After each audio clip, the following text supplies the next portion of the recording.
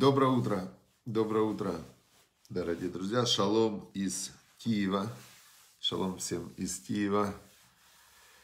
И мы продолжаем изучать, мы продолжаем изучать Тору, продолжаем изучать притчи царя Соломона в прямом эфире в Инстаграме. О, Миша Лысов, давно не виделись. Из Москвы мой друг, старый-старый друг Миша Лысов из Москвы. Всем рекомендую кирпич. Он специалист во всех видах кирпича. Хорошо, друзья. Доброе утро из Харькова. Шалом, Коваль. Шалом, шалом, Зальман, Зальман. Все, у нас идет в Фейсбуке урок на странице Вайкра. Вайкра это платформа, да, Маргарита тоже из Беларуси. А, у нас идет на платформе Вайкра. Это платформа, где есть более 100 преподавателей Торы, которые обучают Торе. И в Инстаграме моя личная страница, я провожу тоже для тех, кому интересно, а, притчи царя Соломона, Мишлей. А, эта книга записана была около трех тысяч лет назад великим, великим, а, вошедшим в историю. Представьте, три тысячи лет передают его слова. Какой был умный человек, пророк, сын царя Давида, царь Соломон, построил первый Иерусалимский храм, сын Батшевы. Все знаем про его жизнь, было у него 700 жен. И представляете, насколько вот человек вошел в историю, и его мысли, которые он принял от Бога и передал, они вошли в христианскую Библию, естественно, это часть письменной Торы, и мы сейчас с помощью еврейских комментаторов, мудрецов стараемся понять, что он имел в виду, потому что, хотя и говорят, что с каждым поколением люди становятся более образованными, но духовная сила, духовная сила, она падает. То есть с каждым поколением люди становятся менее, менее духовными. Менее духовными, понятно? Поэтому нам тяжело понять. То есть раньше человек а, он был присоединен к духовному миру больше намного. Понятно. Хорошо. Значит, мы дошли 30 глава, 30 глава, 11 отрывок. 10 а, отрывок он нам посоветовал царь Соломон, чтобы мы не клеветали на раба перед его господином, все равно раб перед господином потом оправдается, тебя проклянет, будет тяжело. То есть э, это понятно. Теперь э, дальше, сегодня он нам говорит э, о грехах поколения.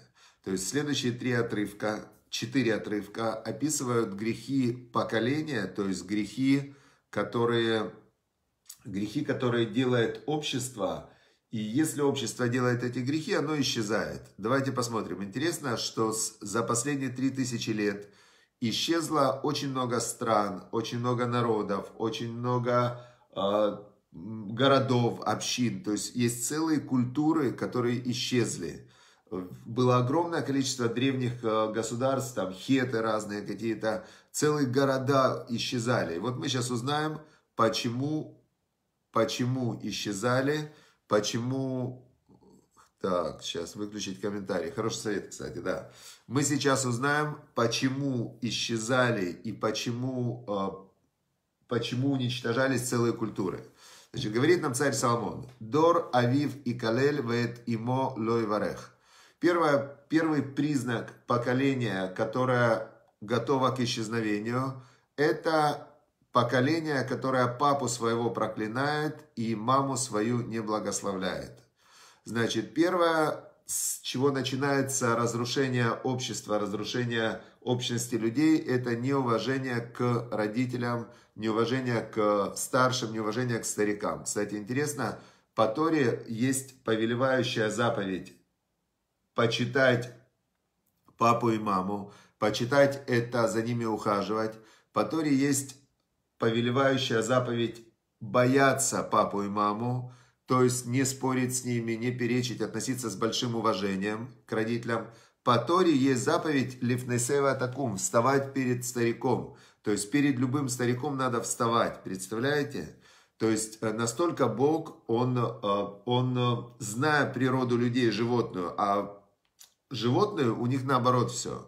Животное, чем ты более сильное молодое животное, тем ты более, более можешь без уважения относиться к старым животным. Что это старое животное? То есть как только животное начинает стареть, то молодые животные, они его сразу же съедают, там, убивают.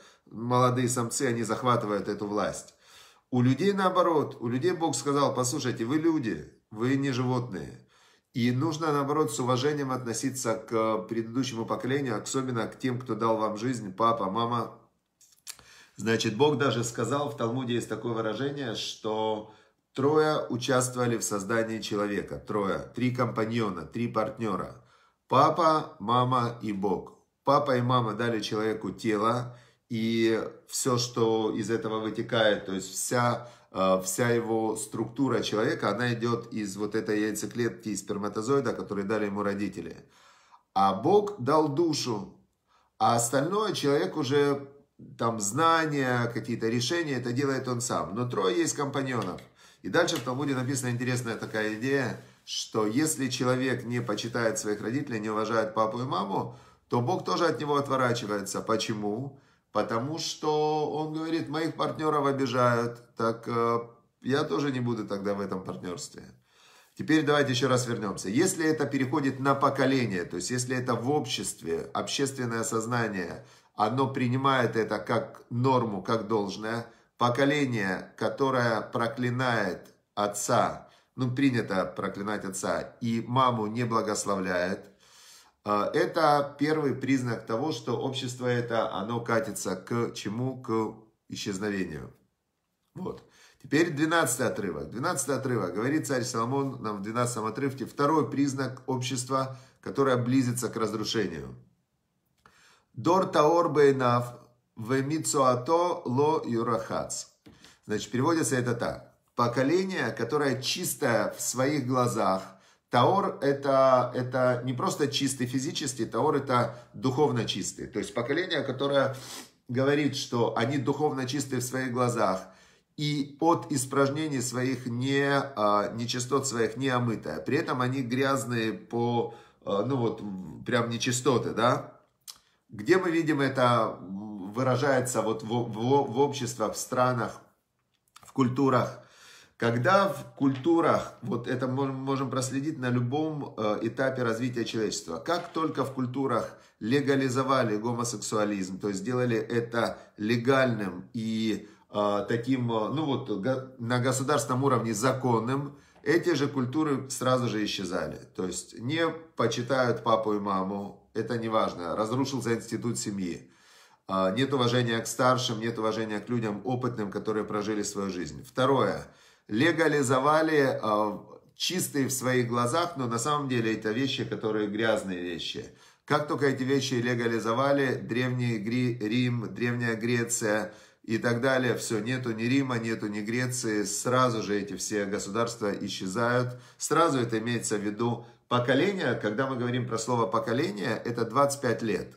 То есть в 25 лет э, человек в среднем женится и рожает детей – и каждое поколение это 25 лет. Вот 25-летние женились, родили детей, потом им уже 50 лет, уже их дети женятся, им по 25 лет рожают своих детей.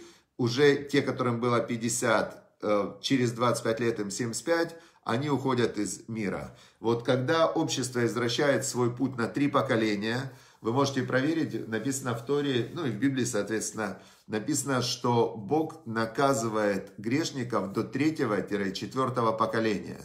Накажу детей за грехи отцов до третьего-четвертого поколения и дам награду на тысячу поколений, тех, кто выполняет заповеди Бога. Почему такая разница? Любой грех, когда он становится в один раз делается, можно вернуться, можно, ну, ошибся человек, сделал неправильно, понимает, осознает. Если он его делает второй, третий раз, это для него становится нормой. Как только это становится нормой, то на третье, четвертое поколение любой грех уничтожает или отдельно человека, или он уничтожает целое общество. Поэтому, если мы сейчас наблюдаем парады гордости, они начались там 10-15 лет назад, 20 лет назад, то вот сейчас первое поколение уже считает это нормой. Теперь, когда это станет нормой, вот начиная с этого поколения, это не просто стало нормой.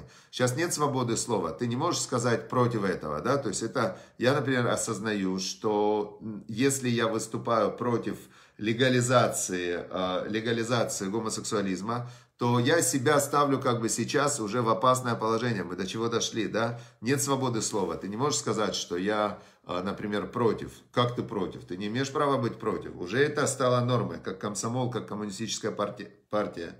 Третье поколение, когда уже через 25 лет, это уже станет обязательным, я думаю, что будут уже э, в школе, например, не будут давать аттестат без, без э, на деле подтверждения верности заветам ЛГБТ. То есть это к тому идет уже третье поколение. Четвертого поколения не будет. Все, четвертого поколения, если общество пойдет по этому пути, его просто не будет. Это то, что говорил нам а, царь Соломон 12, что поколение чистое в своих глазах. Но те, кто идут на парады гордости, а, и которые их поддерживают, там на параде гордости 5%, которые действительно активные гомосексуалисты, которые эту идею продвигают, а 95% они просто как бы, они чистые в своих глазах, они говорят, как, мы же поддерживаем этих прекрасных, замечательных людей, которые хотят не просто э, там друг с другом э, вступать в отношения, они хотят э, э, законно вступать, они хотят, чтобы вдруг вот то, что называется семьей, стало родитель один, родитель два. Какой родитель один, родитель два? Не бывает родителя один, родитель два. Бывает родитель мужчина и женщина. Нет других родителей. Хорошо. Это нас предупредил царь Самон 3000 лет назад. Это есть в Торе, это есть в Библии, это есть в Коране. То есть Бог однозначно через всех своих э, э, источники подачи информации, через всех пророков однозначно и четко сказал, это идет против природы человека, нельзя это делать. Тот, кто хочет это делать, пускай делает, у них свобода, но делать это легализацией, делать это законом и делать это нормой – это опасно для всех людей. И все люди, которые хотели бы, чтобы было у вас, у нас, чтобы было продолжение человечества или страны, или народа, должны, мне кажется, а, для себя прояснить этот вопрос и однозначно выступить. Хотите делать, делайте, но менять законы общества, которые были тысячи лет, а, это, это опасно для всего общества. Понятно. Значит, 13. 13 отрывок говорит нам царь Соломон, говорит нам царь Самон в 13 отрывке, «Дор марамуи нав в афапав и насу». Он говорит так, третий признак того, что общество, оно катится к вырождению. Третий признак, он выглядит так. А, поколение, в котором в высокомерные, высокомерные глаза, которые считают себя умнее, чем все остальные, умнее, чем все след предыдущие поколения, которые высокомерно борются друг с другом и, ну, высокомерные, да, такие. И Афапав и Насу вознесенно у них глаза. Значит, здесь немного сложно понять нам, что такое высокомерные, что такое вознесенные глаза. Непонятно. Вот, ну, как бы у меня не было, не было объяснения, что это такое. Но чтобы понять, что имел в виду царь Соломон, нужно вспомнить, э, что общество-то предыдущие, предыдущие поколения, они же жили в очень жестком расслоении, в очень жестком расслоении, когда были там феодалы, когда были э, в России помещики, например, и были крепостные, то есть были в Индии были касты, да, то есть было очень жесткое такое расслоение – и те, которые были на, на ступени выше, они могли по-разному относиться к тем, кто на ступени ниже. И вот 14 отрывок нам дает понять, что является преступлением, что такое настоящее высокомерие. Э, поколение Харавот Шинав, чьи зубы мечи, говорит царь Соломон, ума халот металлатав, и чьи челюсти ножи, лейхоль аниим меэрец вевюним меадам, для того, чтобы съедать бедных из земли и э, нищих среди людей. Значит, э, общество меряется, вот тут вот как раз сейчас э, я хочу сказать большой плюс на наше современное общество, в котором мы живем.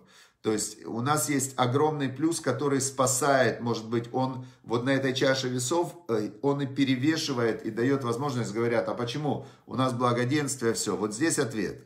Смотрите, когда общество расслоено на классы, огромный вопрос, как верхние классы относятся к нижним классам. В некоторых обществах нижних классов, например, Древний Рим. Почему исчез Древний мир?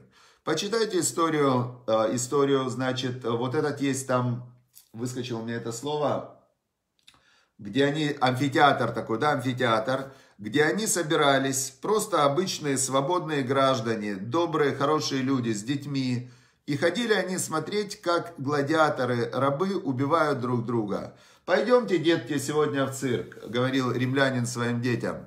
Посмотрим, как эти рабы-гладиаторы, мы сейчас, вы слышали, привезли новых львов. Сегодня мы увидим, как львы съедают э, гладиаторов. Детки, вау, какой класс, сегодня мы развлечемся. То есть э, были общества, которые относились к нижним, к, к нижним слоям, как вот эти вот римляне звери, да, то есть они конкретно собирались на открытие Колизея, Колизей называется, это ужасное место, в, на открытии Колизея, во-первых, погибло там десятки тысяч рабов, которые его строили, во-вторых, э, были конкретно на вот этих вот первых празднествах было убито тысячи вот этих вот рабов-гладиаторов.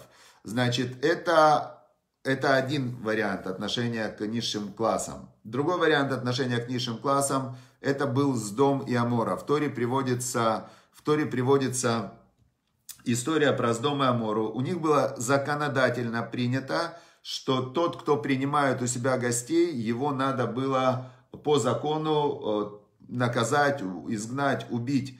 Э, если вы откроете Тору и, или Библию можете открыть, это все в, в одно, одна книга – то вы увидите, когда Лот, он принял у себя гостей, то собрались все жители дома, и что они сказали?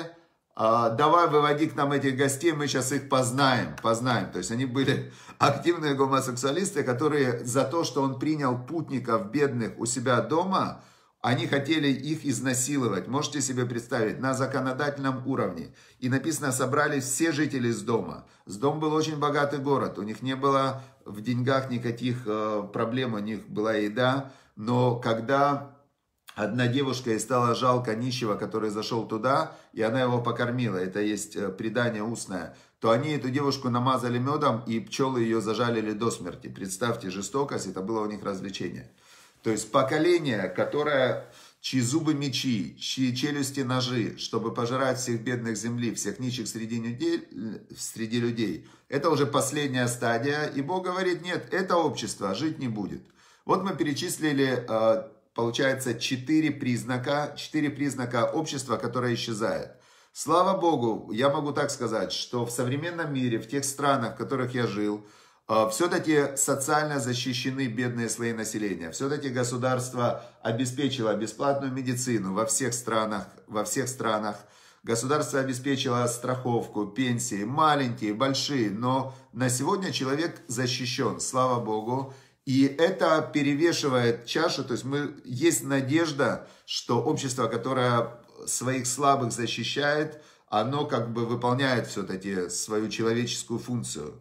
Но остальные три, э, остальные три признака, они на сегодня очень присутствуют, да. Хотя, опять же, в, например, на Кавказе, в восточном мире более есть уважение к родителям, к старикам.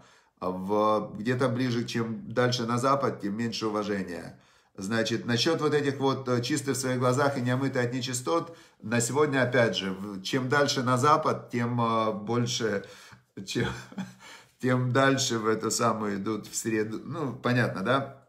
Значит, э, на Западе очень сильно развита вот это вот э, ЛГБТ, да, ЛГБД, ЛГБТ, или Д, или Т, не помню. А, значит, э, на, в Кавказе, опять же, в мусульманском мире, слава Богу, они относятся так, как Бог повелел относиться к этому. То есть это запрещено, это грех, это факт. Кто хочет лично грешить, пожалуйста, пусть грешит, но общество не имеет права идти на поводу у единиц, у единиц, которые хотят грешить. И теперь эти единицы заставили всех признать, что то, что они грешат, это не грех, это норма. Это, это удивительная вещь, да, такая, просто удивительная. А, тринадцатый отрывок. «Высокомерные глаза его и подняты веки его». Вот здесь мы тоже, мне кажется, современное общество все-таки прислушивается к власть имущие, они прислушиваются к простым людям, то есть есть все-таки влияние простого народа на процессы, которые происходят в странах. И по четвертому параметру современное общество, оно очень сильно в позитиве выполняет волю Всевышнего. То есть я думаю, что на сегодня нет вот этого поколения, чьи зубы мечи, чьи челюсти ножи, чтобы пожирать бедных земли и нищих среди людей. То есть на сегодня все, э, все цивилизации, причем и западная, и восточная, и мусульманская, и христианская, и вообще нерелигиозная, все защищают своих бедных.